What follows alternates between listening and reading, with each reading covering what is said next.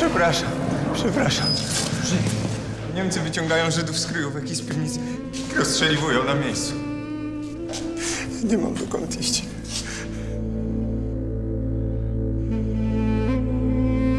Tutaj nie ma żadnego Żyda. Niemcom prawdy też przeor nie powie?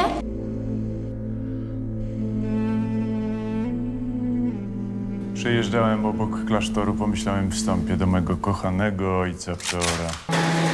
Jestem wrogiem zła. Który jest we mnie. Co przeora łączy z tym niemieckim oprawcą? Kazałeś mi szantażować tego klechę. Jeśli przyłożę rękę do śmierci zbrodniarza, bieram mu.